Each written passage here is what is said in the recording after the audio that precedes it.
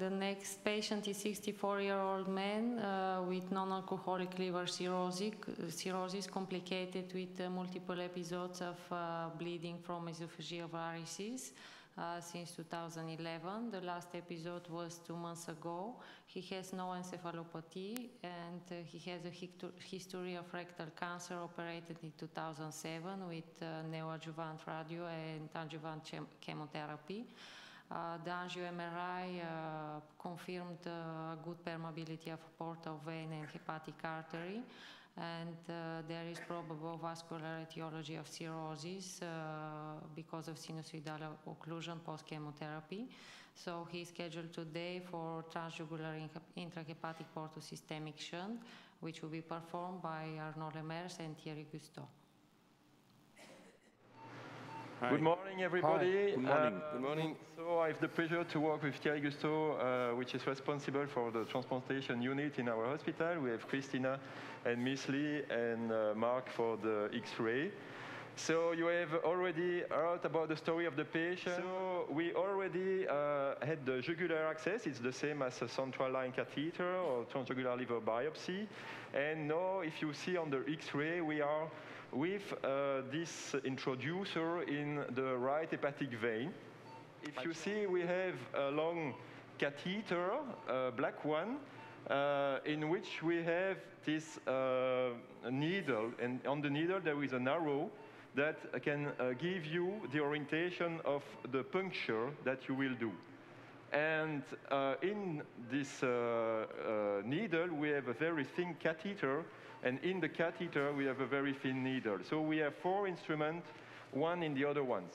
So um, now I will insert uh, the, the device in uh, the, the GAN here, in the sheet, and uh, we'll do a puncture in the liver. When I'm quite confident, I will do the puncture and I can orientate the puncture with my hand here. So here I will go for the puncture. So atrophic cirrhotic liver are very hard in general. Here it's not so hard. Then what we do is to aspirate till the time we obtain some very reddish blood so you can focus on my hands here. And when no. we uh, obtain the blood, can the camera focus on the hand? The camera zoom onto your hand, so we can't see the syringe very well. So I'm just pulling slowly, slowly, slowly, aspirating to see if I obtain some blood. Yeah.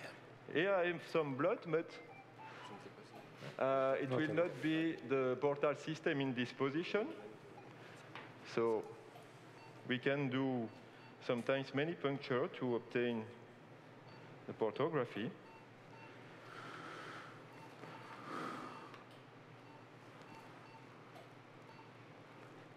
So I will change a little bit the orientation of my puncture, coming a bit more in the anterior position.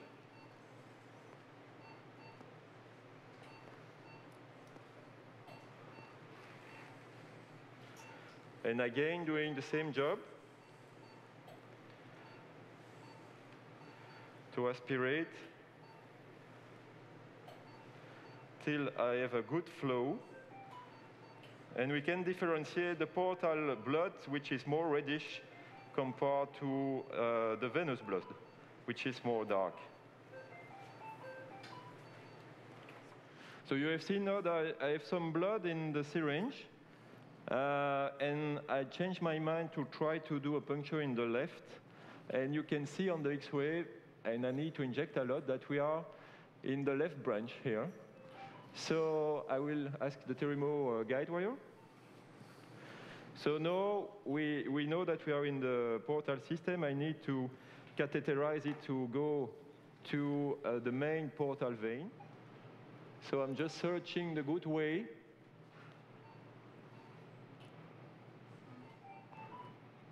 So it's a question of feeling with the guide wire. Uh, we need to have no resistance to and to have uh, the picture of the direction of the guide wire going uh, in the direction okay. think of the portal vein. So we just need to change a little bit the puncture, uh, and we obtain a very good flow. And I will show you that uh, I advance a little bit after having done catheterization with the Terumo guide wire, that now we uh, can confirm the localization, and we are here with the catheter in the main portal trunk, and we, the entrance is just at the bifurcation. So um, we'll change for the Amplatz guide wire, it's more rigid, to be able to uh, pass a dilation balloon afterwards, to dilate the portal wall and then the hepatic wall. Uh, and this uh, imprint on the balloon will give us the size of the TIPS we need uh, to put in this patient. Now of you have seen that I was advancing the dilation balloon on the guide wire. So the distal end of the balloon is in the portal vein, the main portal vein, and the proximal part is in the liver, into the tract I have created. Um, so we can inflate.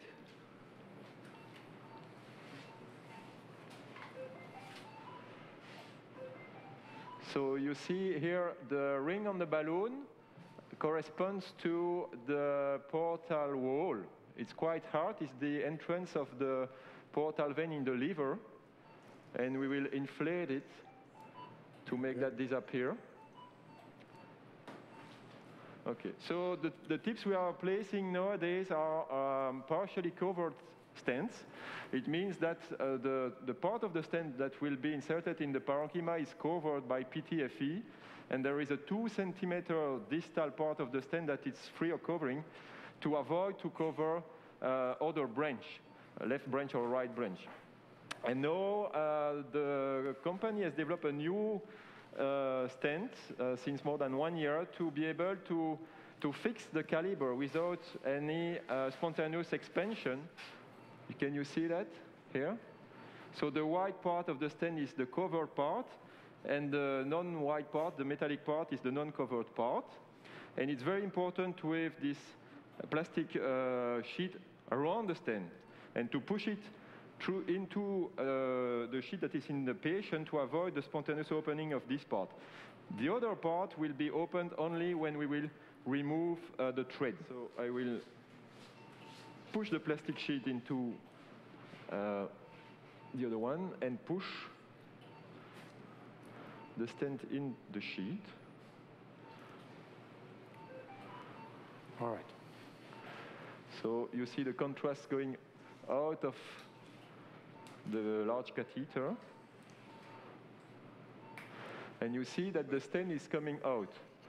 So you see the spontaneous opening of the distal part of the stent. So I'm coming back with the sheet here.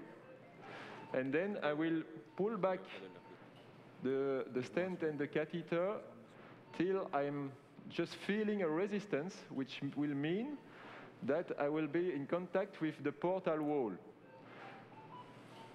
And when I will be satisfied, like here, I have a resistance that is the same anatomy that the one we have uh, seen by injection and dilation.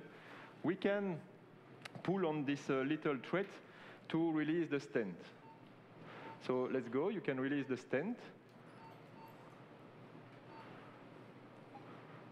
Okay, now it's fully deployed. Okay. So we have to move that and come back with the catheter for the portography and then to measure the pressures. Okay, Arnaud, congratulations for this very nice job.